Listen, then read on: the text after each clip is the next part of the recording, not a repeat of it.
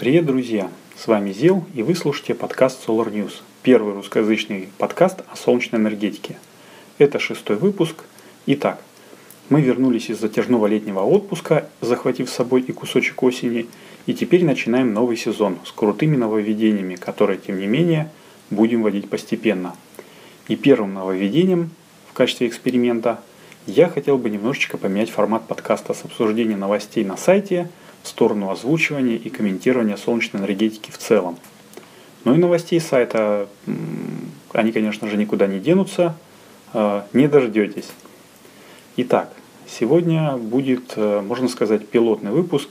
А быть ли такому формату в целом, я прошу вас написать в комментариях к подкасту, а, в ваших подкастоприемниках или на сайте, а, или личным сообщением мне на почту zел собачка solar-news.ru.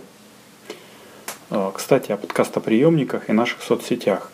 Я категорически рекомендую вам подписаться на наши группы в соцсетях, на каналы. Ну, тут кому что больше нравится, но я лично больше всего люблю Telegram и Facebook.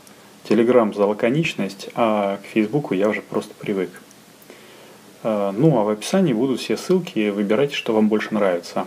И не забывайте рассказывать знакомым и ставить звездочки и сердечки. Это круто поможет нашему подкасту быть замеченным другими неравнодушными к солнечной энергетике.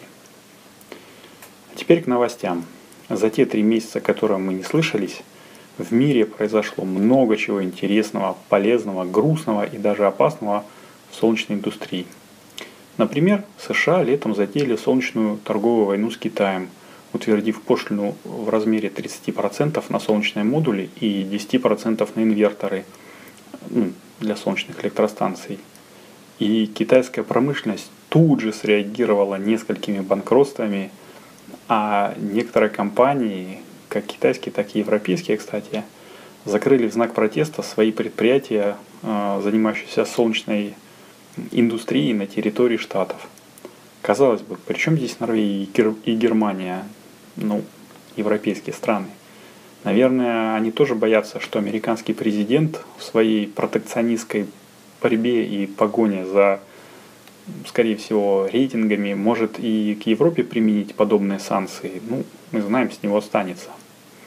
С другой стороны, европейские производители солнечных батарей и э, того же самого сопутствующего оборудования также вынуждены тесниться под натиском очень сильно восточных братьев, я имею в виду китайцев, так как в сентябре ЕС отменил минимальные ввозные цены на китайскую продукцию, ну, читай, убрал пошлины. И спрос, конечно же, перекинулся от гордых а, модулей а, с шильдиком Made in EU а, в сторону более дешевых китайских. А германский завод Astra Energy, например, вынужден даже сократить рабочий день для того, чтобы ограничить экономический ущерб, нанесенный китайцами. Ну, в общем, экономику шатает вслед за политикой. Но у нас есть и более глобальные новости, прямо такие космического масштаба. Речь сейчас про Марс. Казалось бы, что может быть общего между Красной планетой и Солнечной энергетикой? А нет, общего у Марса и Земли это маленький, но бодрый марсоход Opportunity, который бороздит его пустыни, марсианские, в смысле, с 2004 года. И примечательно то, что он работает почти полностью от энергии Солнца. Исключение э, составляют лишь э, ну, так называемые тепловые блоки или теплые блоки, в которых находятся аккумуляторы. В холодные марсианские ночи, а на Марсе может быть до минус 105 градусов по Цельсию, э, эти блоки обогреваются с помощью маленьких плутониевых ретегов, то есть радиоизотопных термоэлектрогенераторов, работающих на, ну, по сути своей тепле разлагающегося плутона – и совсем мизерном крошечном э, выделении э, электроники, тепловыделения собственной электроники. Так вот, э, в конце июля этого года, 2018, на Марсе произошла мега сильная и очень продолжительная пылевая буря, которая встречается очень редко, и она охватила всю планету, ну, то есть глобальная такая. Соответственно, она заслонила фотоэлектрические панельки ровера от попадания солнечных лучей – и это, в свою очередь, привело к тому, что Opportunity вынужден был впасть в режим гибернации. Ну, по-человечески, то есть э, впасть в управляемую кому. до лучших времен в надежде завестись после окончания этой бури. В надежде, потому что ровер и так отпахал свое, и кома может оказаться неуправляемой, так как заявленный срок миссии Opportunity – это 90 сол. Кто не знает, один сол чуть больше земных суток, на 40 минут больше, если быть точным.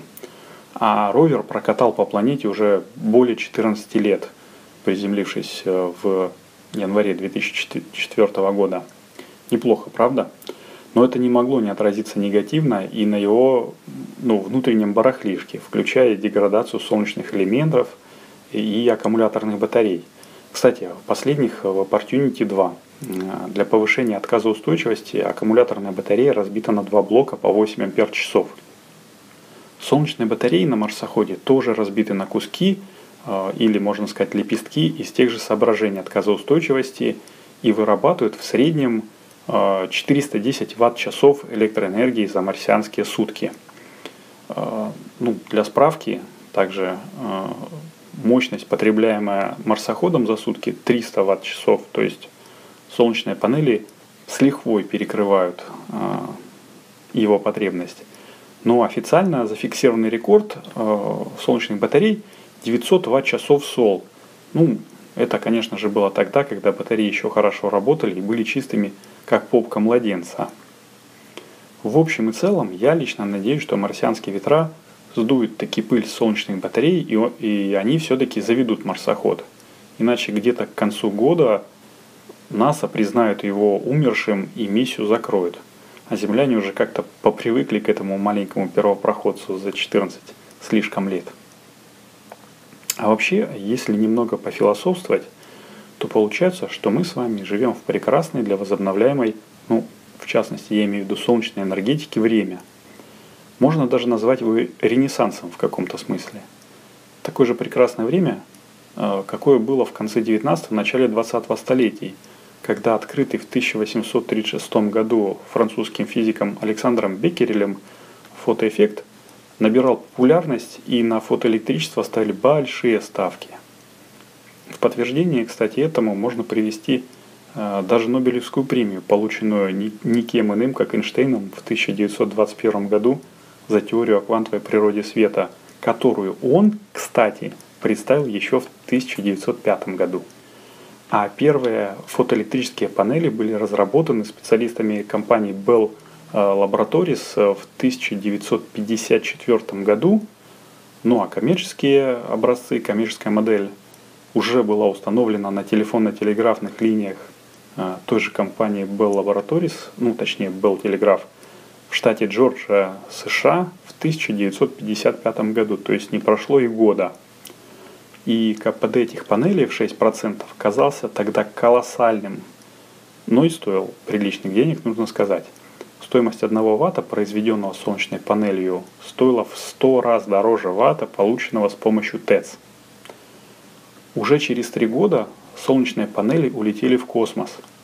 Первый спутник Земли с питанием от энергии Солнца, Вангард-1, был запущен в США и до сих пор, кстати, находится на орбите. С того времени солнечная энергетика так и развивалась преимущественно благодаря космосу, так как до начала 21 века ну, она оставалась слишком дорогой по сравнению с так называемой традиционной, получаемой при сжигании органического топлива. Но промышленность и наука не сидят сложа руки, и сегодня стоимость фотоэлектростанции за несколько лет может отбиться на экономии привозного топлива, например, а КПД штатно выпускаемых панелей перевалили уже за 20% благодаря технологиям, в частности технологии PERC. Ну, это когда нижнюю часть фотоэлектрической пластины, так называемые вафли, покрывают специальными материалами, а, которые способствуют отражению фотонов и более длительному их удержанию внутри а, самой этой вафли. И это позволяет э, более эффективно использовать э, саму энергию фотонов на преобразование в электроэнергию, а не на нагревание пластин, ну, читай в холостую. Но и перки еще не предел. Сейчас ученые работают над технологией TOPCon, которая еще больше увеличит КПД фотоячеек – ну, об этой технологии коротенькую статью можно почитать на сайте, ссылку я приложу в описании. Но будущее у нее выглядит многообещающим. А вот что есть сегодня, от чего действительно захватывает дух, так это то, что уже целые страны могут жить полностью от зеленой энергетики. Да, пока недолго, но были уже случаи, и они фиксируются довольно-таки часто в последнее время, когда в Чили, в Германии, в других европейских странах 100% энергопотребления э, покрывалось за счет возобновляемой энергетики. Ну, в основном это ветер, там, солнце и вода. Э, солнце в меньшей степени, ветер, вода и потом солнце. Но с развитием технологий и перестройкой экологического мышления человечества все больше процента в энергобалансе планеты будет составлять чистая энергетика. Ну, я так считаю. Хотя я, конечно, трезво смотрю на сегодняшнюю ситуацию в этом вопросе и не предлагаю скопом закрывать все АЭС и ТЭЦ. Нет. Но во всем нужен баланс и дальновидное мышление. Я сейчас прям послушал себя, как Танос говорю – но я верю, что человечество придет э, к нему раньше, чем угробит планету целиком. Слушайте, действительно, прям как Танос. На сегодня почти все, и я хочу ответить на вопрос, который мне задают периодически. Почему же все-таки подкасты? Почему я взялся за это дело, а не только пишу статейки на сайт, а, ведем мы канальчики свои и соцсети. А все дело в удобстве, ребята. Удобстве потребления контента. Ведь какую-то информацию удобнее читать на сайте. Например, такую, где нужно сравнивать, анализировать что-то, смотреть э, какие-то картинки, графики, э, лонгриды, так сказать. Для какой-то лучше подойдет телеграм-канал, где можно на бегу получить общую информацию со смартфона, а интересующую ссылку сохранить в список для чтения и прочитать уже дома, не торопясь. Ну а подкасты, как по мне, это больше подходит для поездки на работу, может быть на учебу, прогулки с собакой или утренней пробежки, когда неудобно читать ни со смартфона, ни компьютера под рукой, но комфортно получать информацию, а чаще еще и приправленную личным мнением автора, а, напрямую в мозг через уши. И формат 15-30 э, минут, э, о котором я э, говорил в первых выпусках и волей-неволей выбрал его, как раз способствует этому, потому что, ну, кто ходит, скажем, гулять с собакой дольше, чем на 15 минут, может быть, на 30. А когда едешь в машине, то тоже полчаса послушал подкаст и уже, считай, дорога на работу преодолена. И, как по мне, так долго слушать, даже если подкаст длинный, это не одно и то же, что долго читать. Э, в наш 21 век э, это понятно, как нельзя более, ну, более наглядно, что ли. И как по мне, это намного интереснее, чем тупо сидеть за компьютером и просто читать. А что думаете вы? Э, я хотел бы послушать в комментариях, ну, прочитать точнее в комментариях, к подкасту на сайте, ну, как я уже говорил.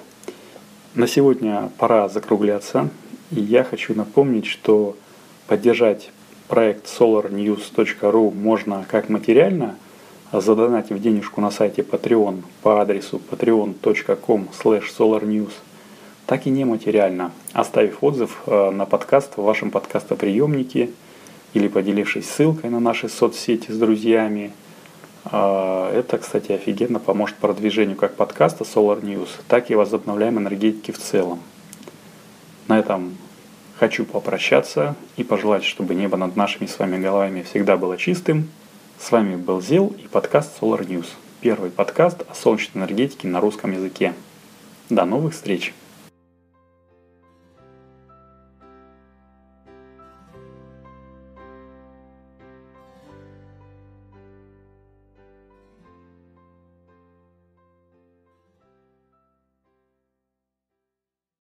Друзья, еще раз привет. Напоминаю, что это подкаст Solar News, и в этом блоке я хочу рассказать о сервисе Anchor FM, благодаря которому буквально каждый может стать подкастером. Я уже говорил, что охотно перешел на Anchor с другого сервиса хранения подкастов и не жалею об этом, и тому было три причины. Первое и самое главное – это полностью бесплатный хостинг. Неважно, сколько выпусков подкастов вы загрузите, какова их суммарная продолжительность, хостинг всегда будет бесплатным. Вторая – это простота. Если бы у меня не было опыта создания подкастов, Анкор бы мне подошел идеально. Здесь э, что в мобильном приложении, что в десктопной версии все предельно просто и понятно. Ты можешь загрузить свой аудиофайл или надиктовать прямо здесь. Можешь его приукрасить перебивками и джинглами. Можешь ставить аудиоцитаты, которые тебе прислали подписчики из комментариев, а можешь просто выложить все как есть и не мудрить. Третья причина – это статистика и дистрибуция. Я уже говорил в подкасте, что мне нравится здесь личный кабинет. Все здесь по максимуму лаконично, но информативно. Только нужная статистика, а если ты начинающий подкастер и хочешь, чтобы тебя слушало больше народу – Анкор FM сам позаботится о том, чтобы продвинуть твой подкаст на как можно большее количество площадок распространения. И это, конечно же, тоже абсолютно бесплатно. Подводя итог, хочу сказать, что если вы хотели бы попробовать себя в подкастинге, то Анкор FM это самое то, чтобы начать. Если не понравится, не жалко будет забросить, так как э, из вложений были только время и все. Ну а если понравится, то я буду только рад, что в мире появился еще один хороший подкаст – Напишите мне в почту сделал собачка solardefisnews.ru тему и название своего подкаста, и будем, как говорится, дружить семьями. Все, это был Зел. Переходим в следующий блок.